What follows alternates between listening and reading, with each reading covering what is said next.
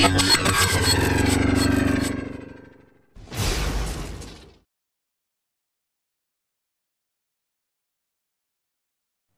kesempatan kali ini saya kedatangan teman dari daerah Karanganyar juga ingin belajar tentang meditasi ya mas. Iya.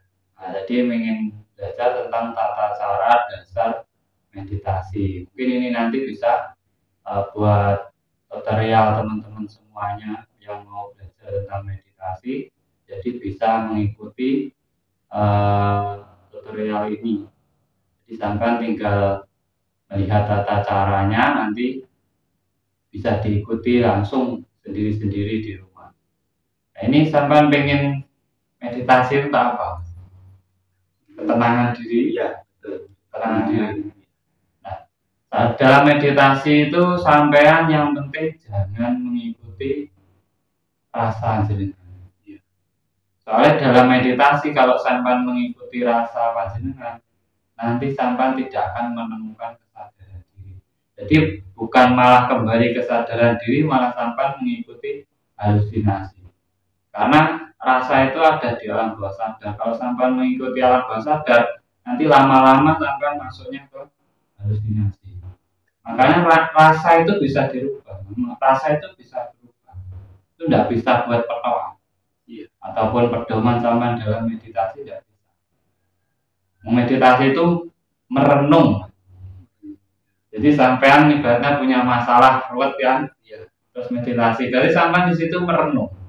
Merenung itu saya harus gimana? Maksudnya ngomong dengan diri sendiri.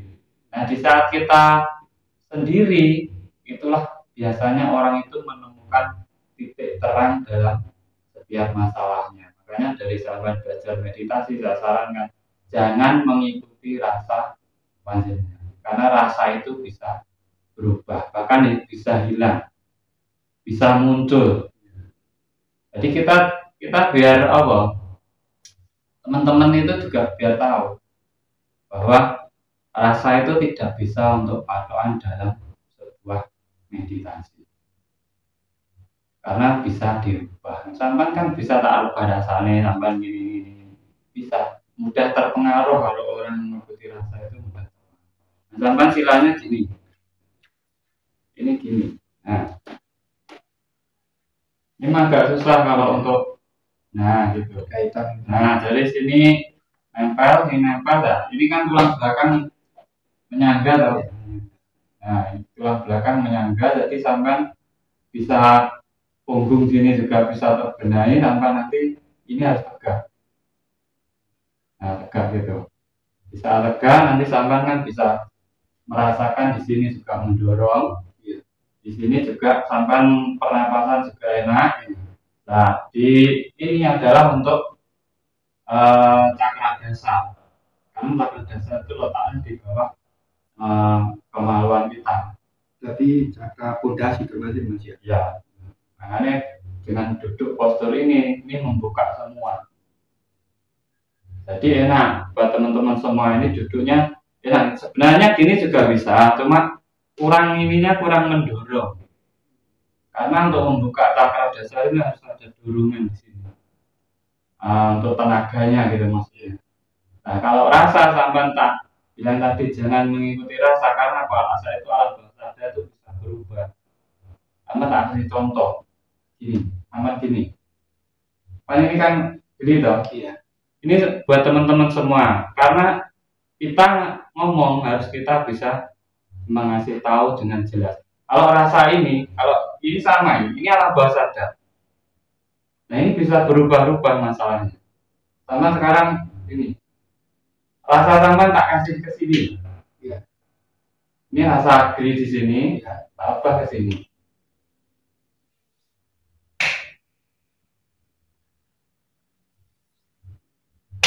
Kamu. Nah, rasa sama sekarang tak taruh di sini. Ya kan? Hilang dia. Tak balikan lagi. Eh, di sini. Ya kan? Iya. Nah, rasakan sendiri loh. Nah, kalau sampai mengikuti rasa ini jadinya. Mana nih bisa berubah-ubah. Nah, sekarang meditasinya. Pada ini tangannya gini. Gini aja. maka gini agak enak nah untuk pertama ini harus tegak. Dan sampai jangan menitik fokuskan ke apa-apa. Maksudnya dalam gini itu sampai pokoknya sudah pasrahkan.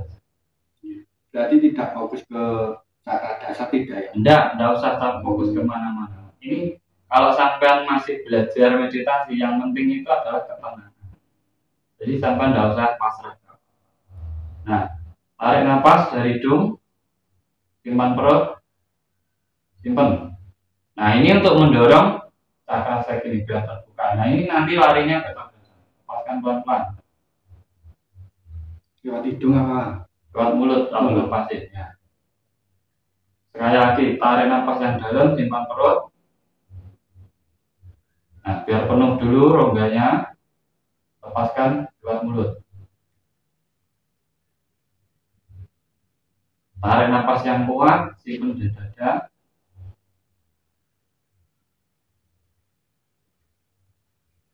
Keluarkan lewat mulut pelan-pelan.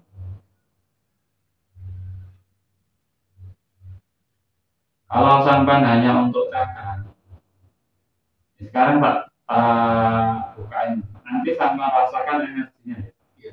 Meditasi sama rasakan tatanya. Ya. Tarik nafas.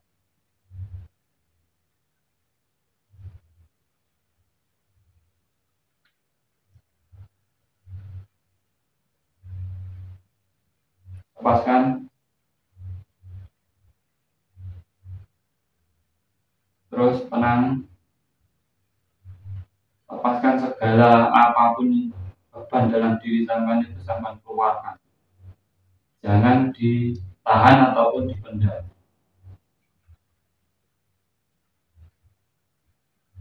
terus?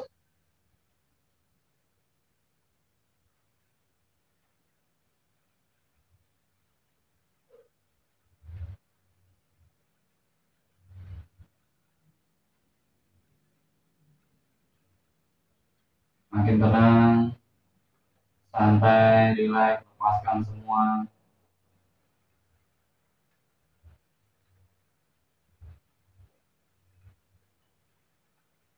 aliran energi apa pun jangan pokoknya lepaskan saja rasakan lepaskan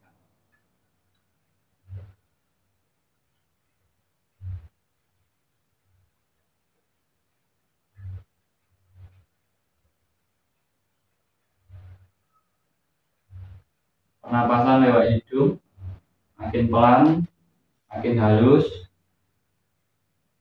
makin diperhalus pernapasan lewat hidung.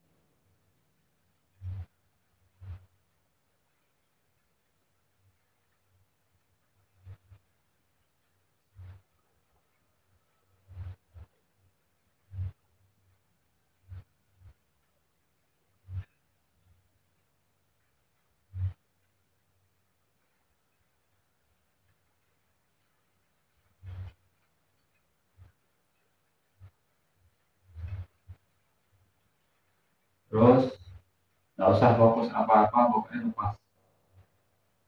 Biar energi sampai mengalir ke seluruh tubuh sampai dan saraf-saraf sampean yang mungkin tersumbat atau itu bisa lancar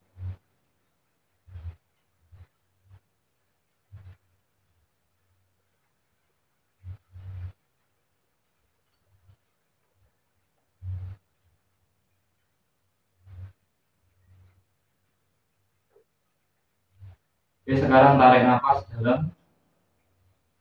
Lepaskan lewat mulut. Tarik nafas lagi dalam. Lepaskan lewat mulut. Oke. Nah, tadi sama mesti merasakan di tulang punggung ini. Nanti ada dari bawah alirannya ke sini kan. Nah, dari sini sama rasanya ke ke sini. Ya. Nah ini kalau biasanya teman-teman ini katanya kalau yang dari sini ini namanya kundali. Ini namanya kundali. Sampai baru belajar, ya. tapi sudah bisa merasakan kan? Ya. Ini di tangan kayak ada angin gitu mas. Begini. Ini ada angin. Ya. waktu di ini apa sih? di tengahnya ya, ini di tengahnya ini. Karena- angin gitu. ini kalau sini mentok energi ke sini. Ini eh kulit itu ada pori-porinya. Sebenarnya tiap kulit ini ada pori-pori dan juga bernapas. Makanya kalau ada angin masuk ini sebenarnya kita itu eh, bernapas. Sem- seluruh tubuh ini bernapas sebenarnya. Cuma lubang yang kelihatan besar itu kan hidung. Iya. sebenarnya ini punya pori-pori semua. Makanya namanya indera perasa. Maka seluruh tubuh itu ada indera perasa. Nah ini yang sampai rasakan ini antara energi dari alam dan energi dari diri sama sendiri. Karena soal kalau meditasi seperti ini ini kita mengambil energi alam. Tapi kalau sama gini ini berputar. Energi dalam tubuh sama berputar sendiri ini teman-teman kita dalam hmm, metode meditasi kita ambil yang simpel seperti ini saja. Yang penting sebenarnya itu yang membimbing itu bisa mengarahkan yang baik. Kalau hanya cakra ini kalau yang membimbing eh, pas langsung dirasakan. Sampai langsung terasa mas. Ini di punggung terasa kan, di tulang ekor terasa, di sini terasa kan. Nah, Ini paling di Nah itu yang cakra dasar masalahnya. Langsung terbuka bisa, masalah tergantung yang membimbing. Terkadang kalau sampean meditasi sendiri tidak ada yang membimbing sama masih mengikuti rasa itu. Akhirnya di saat baru mau muncul energi, sampean sudah ngikut ini. Sama kalau sa- wah ini kan gitu ya. Tapi kalau ada yang bimbingan sampean tenang diarahkan terus, pikiran diarahkan dan tidak ada titik fokus. Kalau sampean titik fokus ke cakra nah sampean pusing. Karena apa? Sampean menumpukan seluruh kekuatan diri sampean ke cakra Ini pusing kan? Tidak dilepaskan seluruh tubuh, enggak. Cuma ditumpukan satu tumpuan. Makanya banyak teman-teman yang mengalami pusing di kening, ada yang mual-mual itu karena apa? Ya, memfokuskan ke titik tertentu. Sedangkan orang itu di saat diam, energinya itu luar biasa. Sampai kalau gerak kan tidak terasa, tapi kalau diam, ternyata kan semua terasa. Iya. Nah itu sebenarnya meditasi itu di situ. Jadi kalau untuk ketenangan juga bisa ditambah lagi menyehatkan. Tiga lagi menghilangi rasa stres.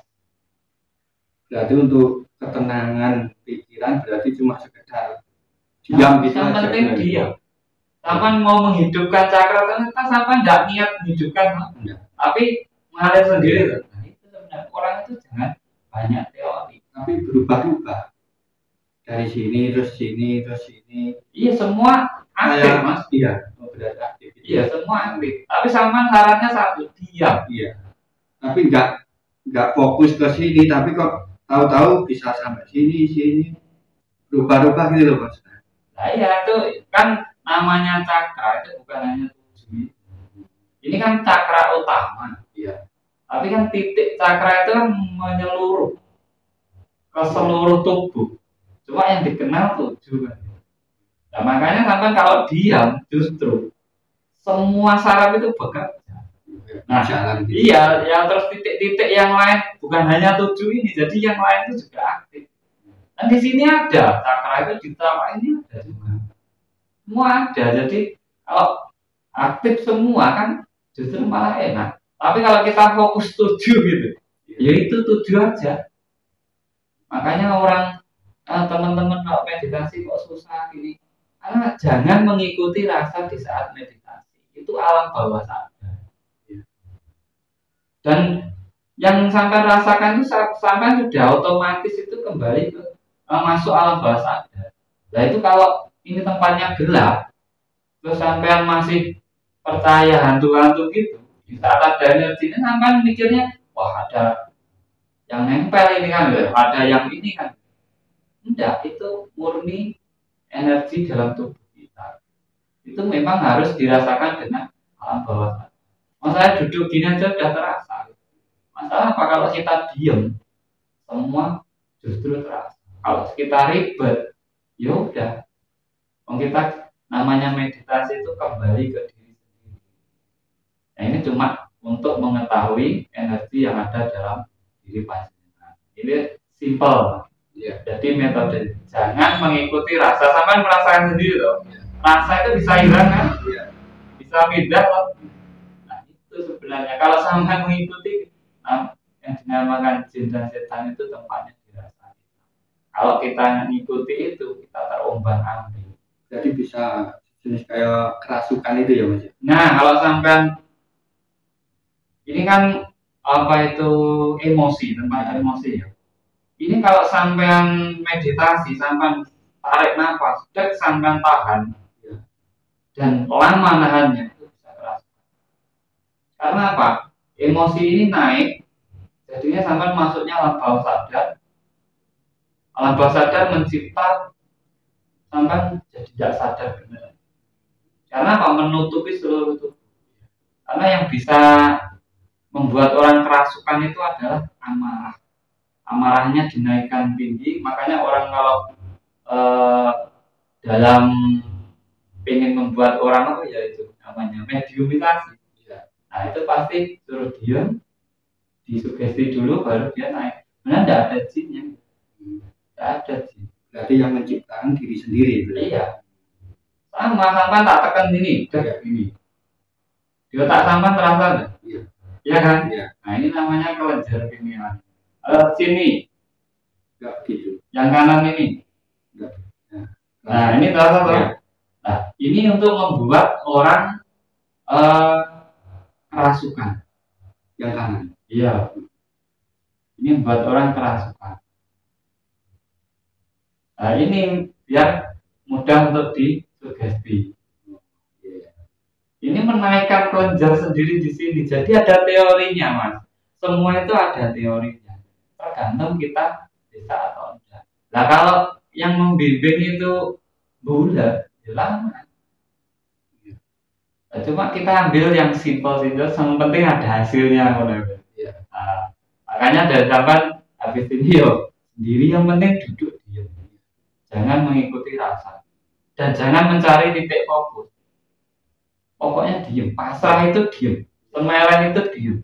Sampai nih hanya introspeksi karena puncak dari meditasi sebenarnya. Meditasi itu dulu adalah eh, ibadahnya orang leluhur kita dulu. Ibadah itu maksudnya cara menyembah ataupun berkomunikasi dengan Tuhan itu dulu pakainya itu. Kalau meditasi kan era sekarang. Iya. Kalau dulu kan semedi. Iya. Kalau dulunya kan tapa berantah.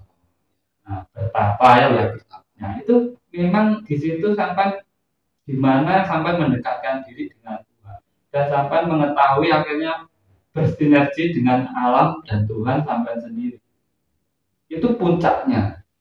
Kalau cakra, kundalini, terus energi tenaga dalam atau apa, itu kalau bagi saya apa ya bonus bonus kita jangan tergiur bonus lupa tujuannya tujuan kita meditasi itu adalah kembali ke jati diri kembali ke diri kita sendiri agar kita mengenal dengan Tuhan kita. Nah, sampai paham Iya. nah, sampai tinggal lakukan sendiri di rumah. Nah teman-teman semua yang ingin mempraktekkan monggo apabila kurang jelas bisa langsung chat WA di nomor kantor ada di deskripsi channel atau ini nanti saya kasih nomor di deskripsi video ini nanti. Silakan eh, untuk yang belum paham dan semoga teman-teman semua selalu diberi pencerahan dan bisa eh, bermeditasi secara benar dan jangan takut untuk bermeditasi. Selama kita tahu fungsi, tata cara, dan belajar dengan benar, sampai akan menemukan kesadaran diri yang luar biasa dalam diri panjenengan semua. Dari saya terima kasih dari kantor Mas siapa? Saya Mas Zaina juga terima kasih uh, buat teman-teman semuanya tetap dukung dengan like, subscribe, dan share apabila video ini bermanfaat buat panjenengan semuanya. Salam rahayu, rahayu, rahayu, sakum tumati. Terus baru.